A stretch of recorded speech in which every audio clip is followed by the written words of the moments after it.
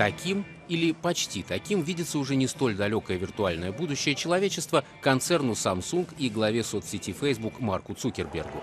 По их задумке, Samsung поставит на рынок необходимые гаджеты, например, очки виртуальной реальности, а сетевое сообщество позаботится о подходящем контенте.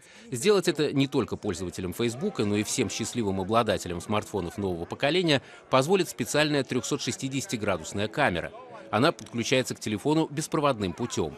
Что же касается презентации на Всемирном мобильном конгрессе в Барселоне новых смартфонов-флагманов от Samsung Galaxy S7 и Galaxy S7 Edge, то здесь все обошлось без особых сюрпризов.